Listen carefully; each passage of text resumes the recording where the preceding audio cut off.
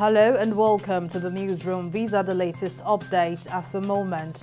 The House of Representatives has commenced the screening of the service chiefs recently appointed by President Bola Tinubu.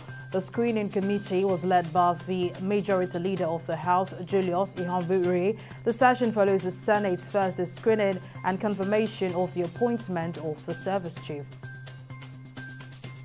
President Bola Tinubu has asked the Election Tribunal to dismiss the petition seeking to nullify his election on the grounds that he did not secure 25% of the lawful votes cast in the Federal Capital Territory.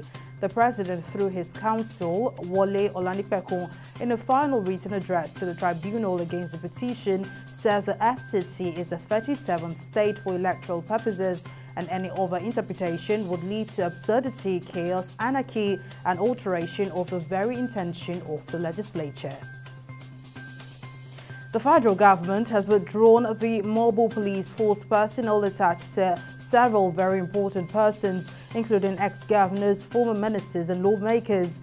The order, which was contained in a police wireless message from Mopol 45 Force Headquarters Abuja, comes a few weeks after the acting Inspector General of Police, Kayode Egbetokun, vowed to withdraw police mobile force personnel from VIP escorts and guard duties. The IGP says this will allow the police to take back its place in the internal security architecture of the country.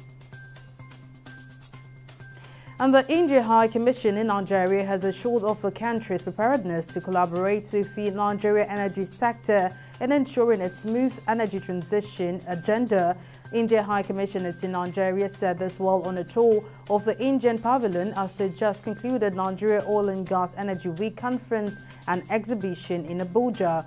The Commissioner says India is playing a good role in re renewable energy because it has some expertise in that area and plans to collaborate with Nigeria in that regard, having there are huge opportunities for both countries to leverage on.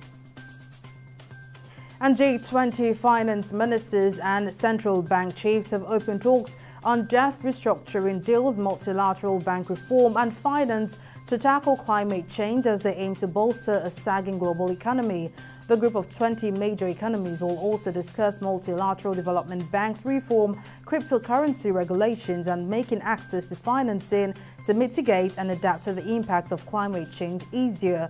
A newly agreed first step on a fairer distribution of tax revenues from multinational firms reached by 138 countries last week is also set to be delivered.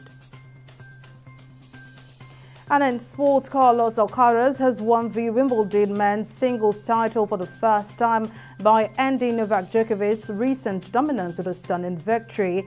Spain's Alcaraz fought back from a nervy start to win against the defending champion. He was going for a fifth straight win, an eighth men's triumph and a 24th major. So far, the 20-year-old is the third youngest man to win the Wimbledon title in the Open era after 17-year-old Boris Becker in 1985 and 20-year-old Bjorn Borg in 1976. That's the latest from the newsroom. Join us at the top of the hour for more updates. Thank you for watching.